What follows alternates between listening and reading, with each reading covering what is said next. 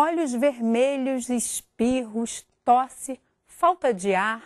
Quem sofre com as alergias respiratórias conhece muito bem esses sintomas. E nos meses frios do inverno, eles se tornam ainda mais frequentes. No programa de hoje, a gente vai falar sobre as causas, os tratamentos disponíveis e como fazer para prevenir as alergias respiratórias. Tudo isso agora. O Ligado em Saúde já começou. De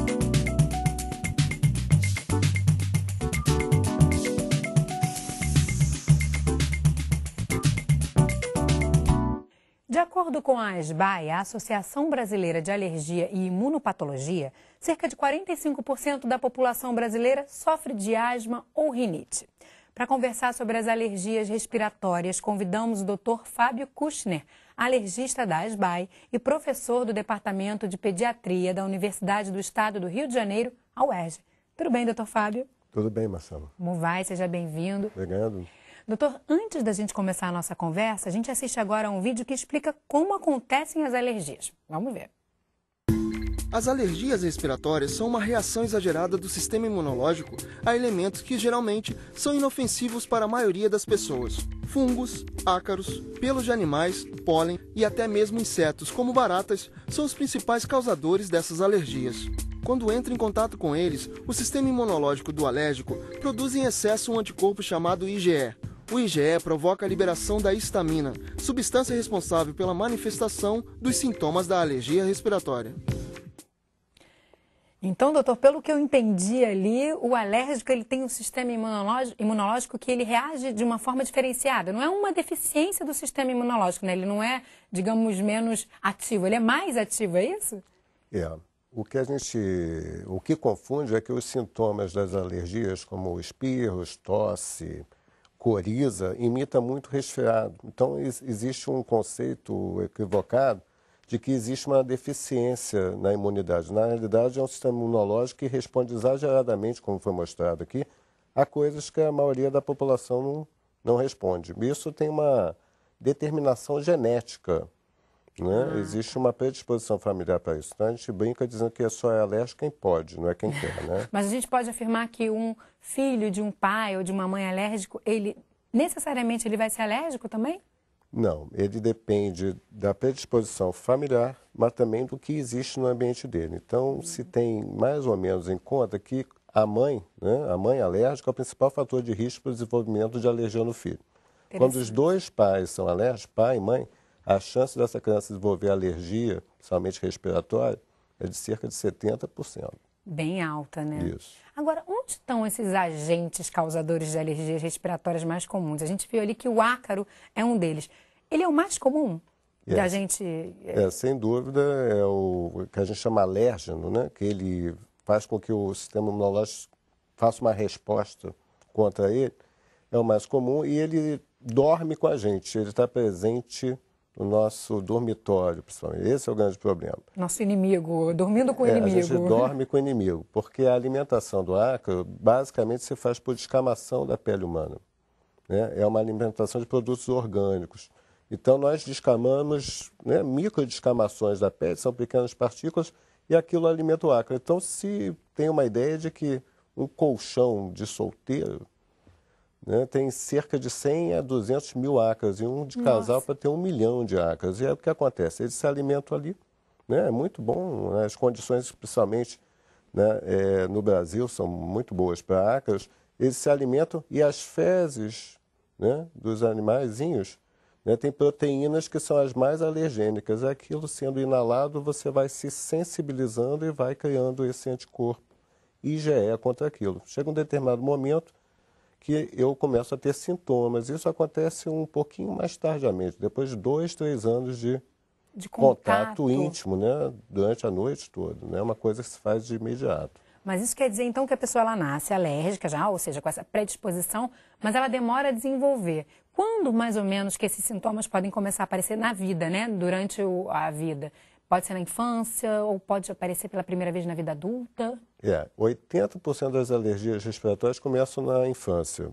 Isso não impede que possa começar na adolescência, mas uma pequena parte na vida adulta. Mas pode ocorrer até na terceira idade. Mas a grande parte Pela é na vez na terceira idade? Pode isso acontecer. pode acontecer? Não é o usual, mas Claro. não é impossível acontecer. Mas isso porque a manifestação ela depende desse contato mais constante com esse agente que causa alergia, seria isso? É, eu posso ter a minha predisposição familiar, minha predisposição genética e esse agente não existir no meu ambiente. E eu só ter contato com ele muito mais tardiamente e começar a desenvolver. Porque quando falam alergia não tem cura, é muito nesse sentido que eu estou geneticamente determinado a estranhar determinadas coisas. Isso não quer dizer que eu vou ter a doença. Eu posso ter a predisposição para a doença. né? Então, eu posso não ter a doença na infância, mas mais tardiamente começar a ter sintomas depois de ter contato com aquilo de uma maneira mais né, Regular. cotidiana, regular. Né? E por que, que a gente fala que no inverno isso se torna mais complicado? Por que, que é pior para o inverno? O, por que, que o inverno é pior para os alérgicos? É, de um modo geral, o que, que acontece é, no inverno, principalmente na infância, né? Eu tenho uma predisposição à alergia e algum, além do, daquilo que me causa alergia, são os ácaros, pelos de animais e até restos de insetos domésticos como baratas, as fezes das baratas funcionam como um ácaro visível. Aquilo me, me dá uma inflamação no pulmão e no nariz. Na verdade, as doenças alérgicas são doenças inflamatórias. É como se eu tivesse ralado meu nariz e meu pulmão. Então, por exemplo, vamos pensar, eu estou ralado aqui na- nessa mão, aqui não. Bateu um vento frio aqui, vai me arrepiar mais aqui do que aqui. Se cair alguma substância irritativa, um álcool, vai me queimar mais aqui do que aqui. A alergia funciona mesmo assim. Eu estou ralado no nariz ou no pulmão e no inverno o vento mais frio me irrita, é, eu fico mais confinado, principalmente crianças ficam mais confinadas em sala de aulas, eu tenho muito mais doenças virais, resfriados, o vírus me irrita, eu começo a tirar roupas do armário que estavam guardadas, que são Cheias de poeira. cheio de ácaro. né? Então, tem a série de fatores é, dentro de casa e na comunidade que ajudam, e também tem fatores climáticos, por exemplo, a inversão térmica, que muitas vezes mantém poluentes é, é, em camadas mais, próximos do solo, é, né, mais próximos do gente. solo. Então, é, principalmente nas grandes cidades, partículas de diesel são muito irritativas para o epitélio respiratório, ozônio. Isso tudo contribui né, para que o inverno seja a pior época para o alérgico. Agora, só para eu entender, né? se uma pessoa é alérgica, o que ela tem costumam ser crises alérgicas, a gente chama assim, de crises, esses eventos, né? Onde a gente é, vê mais a tosse, o olho vermelho, os espirros, é isso?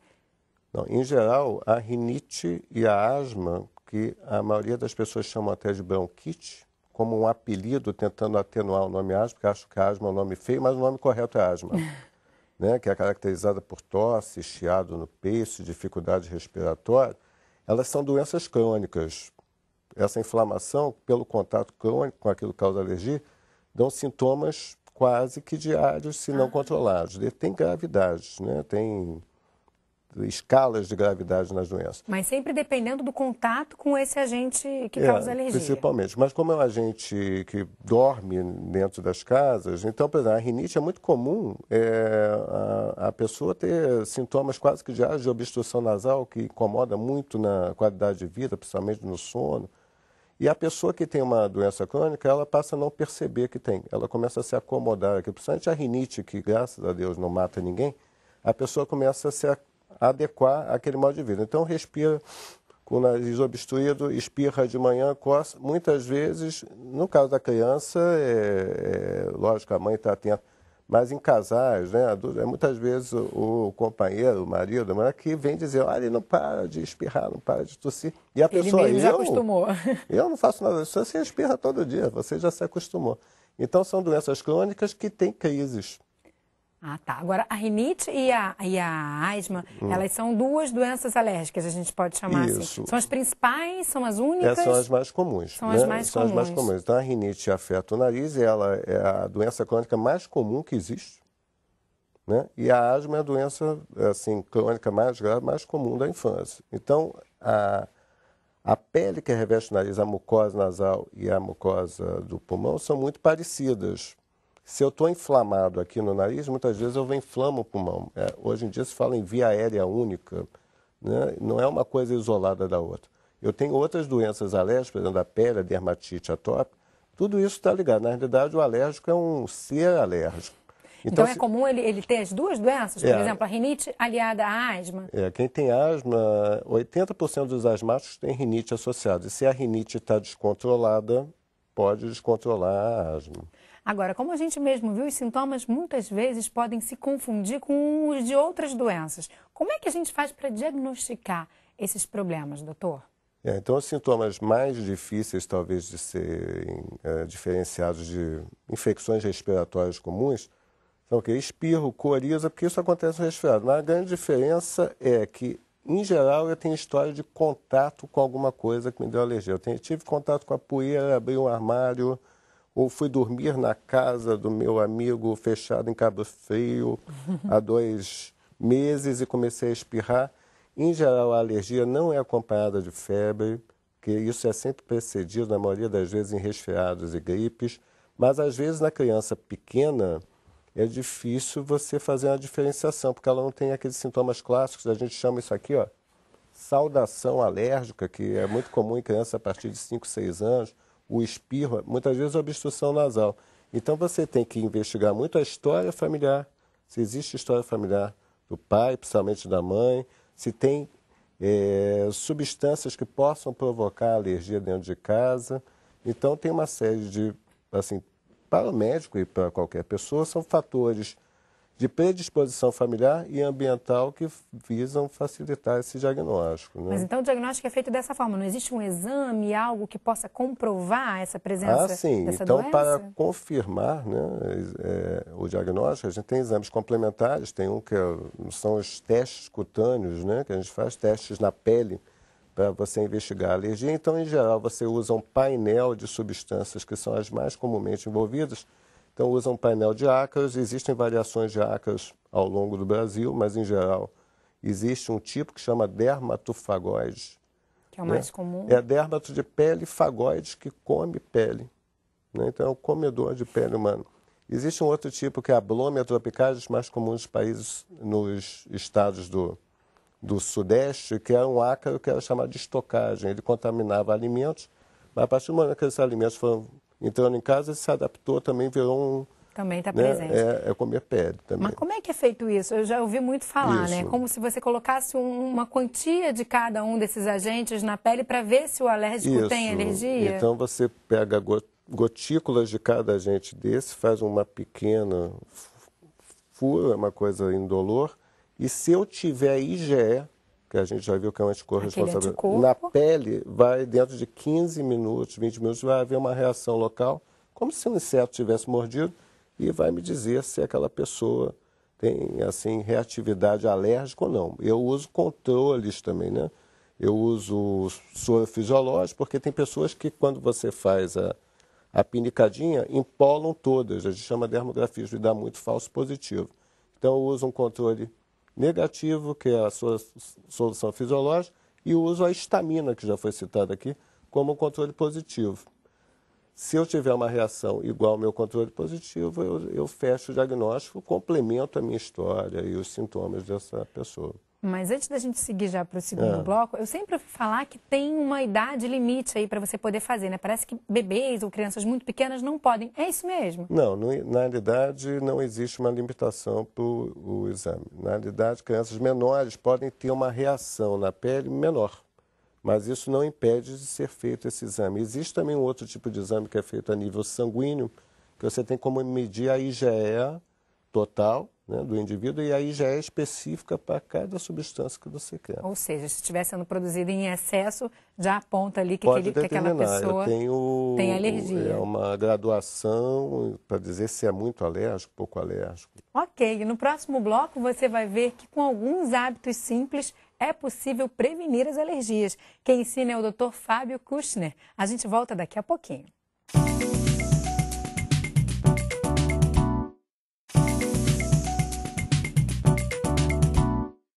O Ligado em Saúde está de volta. Eu estou conversando hoje sobre alergias respiratórias com o Dr. Fábio Kushner, alergista da Associação Brasileira de Alergia e Imunopatologia, ASBAI, e professor do Departamento de Pediatria da Universidade do Estado do Rio de Janeiro, a UERJ.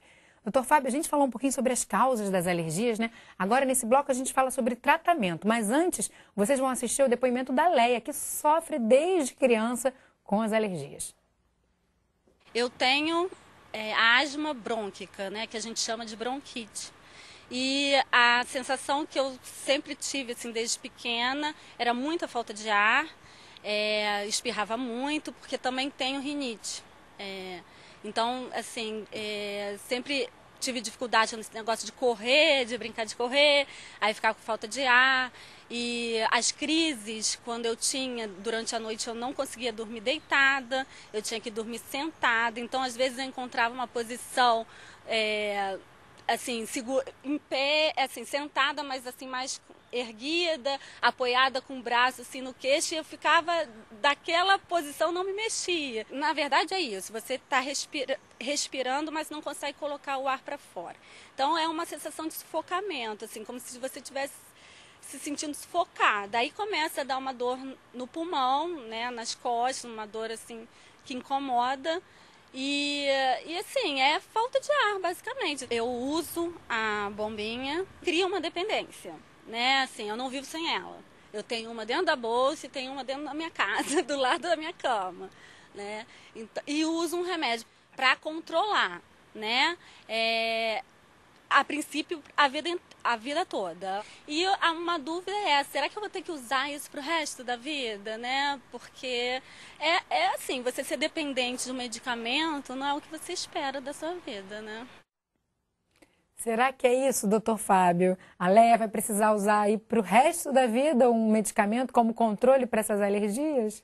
É, é, isso que acontece? É, a gente sente uma tristeza no olhar é? da mas eu quero mudar um pouco esse olhar né? Então, na realidade, ela falou uma série de coisas muito importantes, que é, é, o relato dos sintomas de quem tem asma. O nome correto é asma. Bronquite, como a gente falou antes, é um apelido Isso. tentando atenuar, mas o nome correto existem asmas leves, asmas moderadas, asmas graves. Asmas moderadas, né? A leve são aquelas que você tem uma crise, passa dois, três meses sem ter crise. Nesse período entre crises fica totalmente bem. E tem pessoas que têm sintomas de asma, como ela vinha relatando, né? Sintomas que pioram à noite. Sofrimento, né? É, é, pioram à noite, tem restrição, né? Restrições das atividades do dia a dia, principalmente em termos de exercício, isso para a criança restringe muito.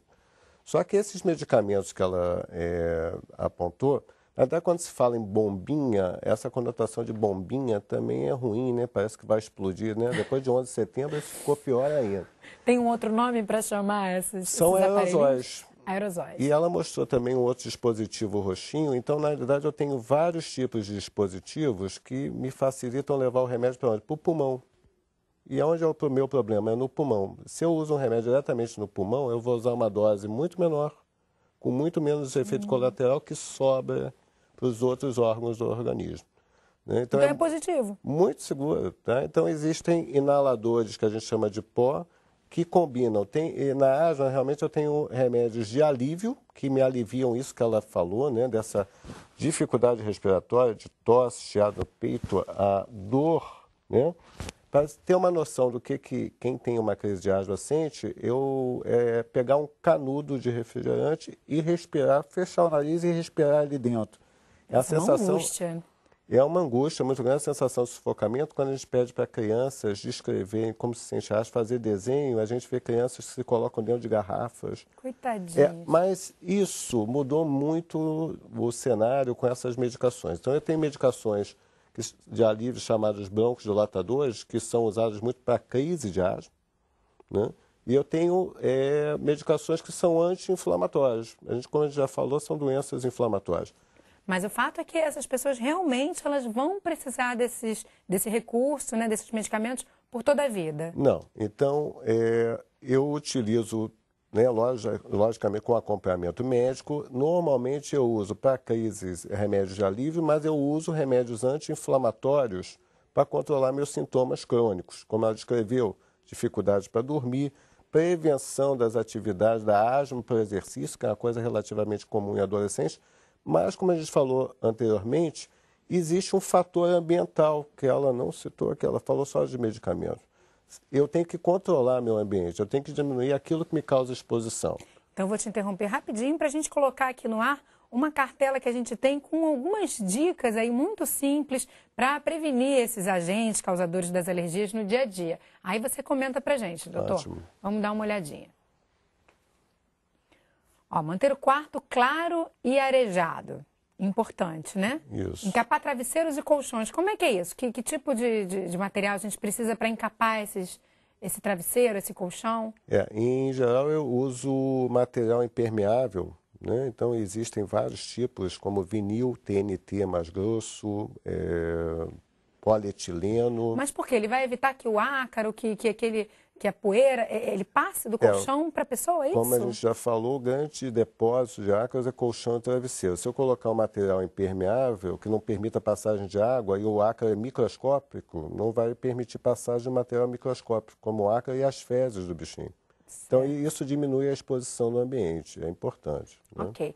Usar cobertores de edredom, não aqueles peludos, é, então, né? menos né, partículas de ácaros e as fezes do ácaro. Pelo mesmo motivo, evitar carpetes e brinquedos de pelúcia. Muito comum brinquedos de pelúcia é, também quarto de criança. eu até brinco com meus pacientes, né, nas crianças, quantos bichos de pelúcia tem? Tem 30 bichos hum. de pelúcia. Vai fazer um concurso, vai eleger o bichinho de pelúcia do mês. Uma das, das estratégias que a gente faz é encapar esse bichinho de pelúcia e botar no congelador. Quando eu congelo, não o bichinho, mas congelo ele envolvido no plástico para não estragar o bichinho, eu mato o ácaro e ele pode voltar para o quarto uma ah, quantidade isso, menor. Isso pode ser feito de quanto quanto tempo? Ah, isso pode ser feito regularmente, regularmente mas... quinzenalmente, mensalmente. Bem, trocar as roupas de cama duas vezes por semana, pelos mesmos motivos, né? isso. né? E lavá-las também em temperatura acima de 55 graus. Por quê, doutor Fábio? Os ácaros, praticamente 90% do corpo dele, quem já viu algum filme sobre água, parece saquinhos de gelatina, né? É praticamente água. Se eu lavar só, eu não mato o ácaro, mas se eu submeter a uma temperatura mais elevada, eu mato. Então, dessas manobras, aqui as mais importantes são cobrir o colchão travesseiro e lavar com água quente. Se eu fizer isso no dormitório, eu já diminuo muito a exposição ao ácaro no dia a dia. Como a gente falou, a criança, principalmente, se expõe 10, 12 horas de contato íntimo. Então, essas duas estratégias são interessantes para diminuir a exposição. E tem outro hábito também que normalmente a gente faz em casa, né, que é passar aquele paninho para tirar pó.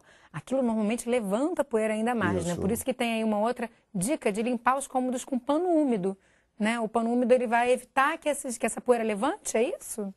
É, o pano úmido ele mantém, porque o ácaro, embora seja microscópico, ele no ar ele fica um, dois minutos e as fezes também ele deposita fácil. Então, por exemplo, ventilador pano seco, põe isso em dispersão no ar, é ruim para o alérgico. Então, para o alérgico, se possível, o ar-condicionado é bom. O ar-condicionado, ele resseca o ar, ele tira a umidade do ar, é ruim para o ácaro. Mas precisa limpar também esse ar com frequência, é, O ar-condicionado deve ser limpado a cada 15 dias, um mês. Agora, tem uma coisa muito comum que a gente vê de colocar uma, uma bacia de água na frente do ar-condicionado porque ficamos ressecados. Isso é bom para ácaro e ruim para o alérgico. O que tirar a umidade do ar é bom para o alérgico e ruim para o ácaro. Agora, doutor, é, em relação a vacinas, existem vacinas que podem ser feitas também? A partir de que idade? Como é que é essa questão? É, como a Leia colocou, eu vou ficar usando isso a vida toda, a gente nunca determina isso, né? É, é, depende muito de acompanhamento. Então, ela vem tratando os sintomas, esses remédios hoje em dia são, são a base de corticosteroides, mas são extremamente seguros porque eles são usados localmente Assim como existem a, o mesmo tipo de medicação para o nariz, são bastante seguros, mas se eu não fizer uma prevenção contra aquilo que me causa alergia, não adianta. Né? Então, além do controle ambiental, eu tenho vacinas que são determinadas pelo resultado dos meus testes e eu determino, por exemplo, tenho alergia a ácaros, eu vou fazer uma vacina especificamente voltada para ácaros. O que, que ela, essa vacina faz? Eu, alérgico, eu estranho uma coisa que é diferente do ser humano. Eu vou colocando em contato essa pessoa com ácaros. Eu vou tornando aquilo que é uma coisa hostil, uma coisa comum. Comum. Então eu vou induzindo com o tempo uma tolerância. Eu não vou tornar amigo, mas vou tornar um tolera o outro. Então a ideia da vacina é diminuir essa reatividade maior do sistema imunológico do alérgico. E com o tempo você obtém resultados muito eficazes que permitem, inclusive, a retirada dos medicamentos. Perfeito. E a gente está chegando ao fim. Quais são as outras ações que uh, uma pessoa, uma criança pode fazer para melhorar? Eu queria começar até com a questão da natação. É verdade? Ela ajuda? Uh, quais outros exercícios ou hábitos, ou hábitos podem melhorar essa questão? É, não existe hoje em dia, não existe uma especificação de, de esporte. Né? A natação talvez seja interessante porque ao ter o contato próximo à superfície líquida, você tem menos chance de entrar em crise, mas não é especificamente a natação o ideal para o alérgico. O importante é que tenha uma vida ao ar livre. Hoje em dia, a gente sabe pelos nossos hábitos, principalmente crianças, ficam em frente ao computador, em ambientes com carpetes o tempo todo. Então, vida ao ar livre, qualquer esporte que ela queira fazer, a ideia é que não haja restrições. Banho frio também não é mais uma. Principalmente no inverno, a gente vê crianças chorando, é Se pior. falava muito nisso antigamente, é, né? Então, assim, não tem mais essa determinação, você pode quebrar a temperatura, você não vai submeter a criança a, a assim, a até torturas, né, em alguns casos. Então, não existe mais essas determinações específicas. Existem coisas mais gerais, são interessantes, têm vindo de trabalhos epidemiológicos, falando de tipos de dieta que são mais específicos para o alérgico, dietas mais ricas em, em vegetais, legumes, né? em populações causam menos alergia, né? peixes, né?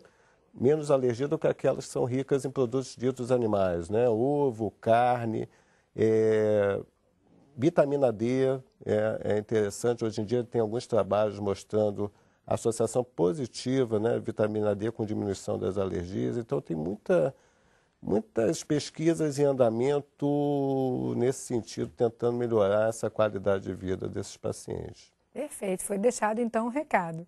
Muito obrigada, doutor Fábio, pela sua participação aqui hoje. Foi um prazer te receber. Muito obrigado. E o Ligado em Saúde de hoje termina aqui e eu vou ficar esperando a sua dúvida de saúde ou sugestão de tema. Participe! Nosso e-mail é ligado arroba canalsaude.fiocruz.br e o telefone 0800 701 8122. Acesse também o site do Canal Saúde. Nele você encontra a nossa programação completa. A gente se encontra no próximo programa para ficar ainda mais ligado na sua saúde. Tchau!